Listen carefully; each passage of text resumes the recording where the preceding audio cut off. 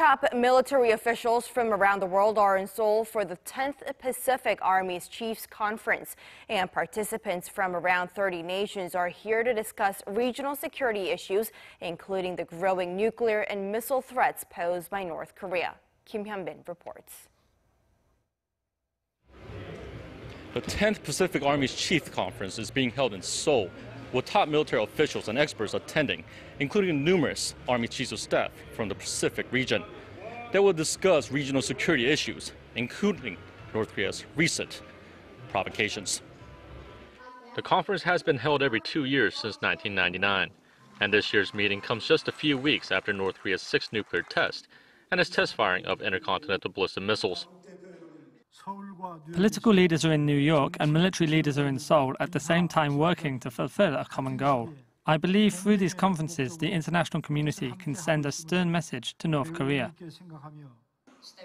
Former UN Secretary General Ban Ki-moon also attended the conference and urged the international community to be ready for any type of threat from the north. He also urged allies in the region to be prepared to take military action when necessary. It is now absolutely clear we must be ready to confront any consequences, any eventualities, including military options. Ban also urged Pyongyang to give up its nuclear and ballistic missile arsenal.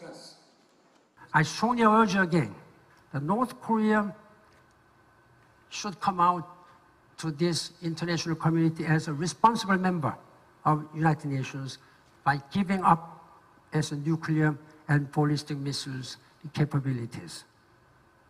I'd like to remind North Korea that no single nation has survived its fate against unanimously united international community in the course of world history. The PAC conference will run through Thursday and is scheduled to discuss both traditional and non-traditional threats, including cyber threats, terrorism, and climate change. Kim Bin, Arirang News.